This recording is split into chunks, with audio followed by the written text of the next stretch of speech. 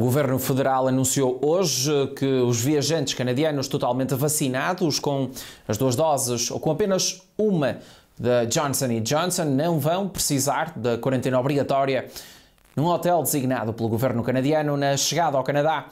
A partir de julho, a isenção aplica-se a cidadãos canadianos e residentes permanentes que regressem a casa. O anúncio foi do ministro intergovernamental Dominique LeBlanc. Como o primeiro-ministro Trudeau disse várias vezes, ajustaremos as medidas de fronteira gradualmente, mantendo a saúde dos canadianos em primeiro lugar na nossa mira, disse LeBlanc durante a conferência de imprensa na quarta-feira. Pleinement vaccinés qui ont autorisé à rentrer, qui sont autorisés à rentrer au pays, les Canadiens, les résidents permanents et les travailleurs essentiels de pouvoir le faire sans passer par un hôtel de quarantaine. A ministra federal da Saúde, Patty Hajdu, disse que as novas medidas estão a ser consideradas como o primeiro passo numa abordagem clara de aliviar as restrições das viagens. Travelers, travelers would have to be fully vaccinated 14 days or more prior to their arrival. And they will still be required to have a negative pre-departure PCR test result and required to be tested on upon arrival with a suitable quarantine plan to wait for their day one test result.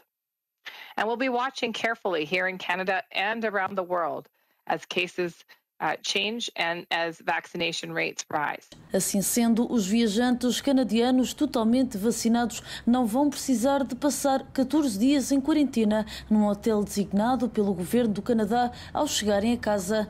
Tudo isso vai acontecer a partir do próximo mês de julho. No entanto, a isenção não se aplica aos turistas. O ministro LeBlanc disse também que os canadianos vão agora ter mais ideia do que podem esperar nas próximas semanas. A primeira fase que estamos agora a considerar tem como objetivo permitir que indivíduos totalmente vacinados e autorizados a entrar no país possam cruzar a fronteira sem ter de ficar no alojamento autorizado pelo governo, disse LeBlanc. Ou seja, os que estiverem totalmente vacinados ainda precisam de um teste de triagem antes da partida, bem como um teste à Covid-19 na chegada. Têm de ficar em quarentena em casa até obterem um resultado negativo no teste.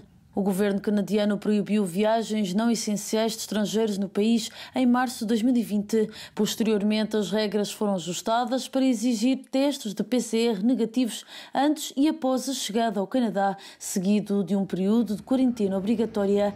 Multas também foram impostas por desrespeito às regras.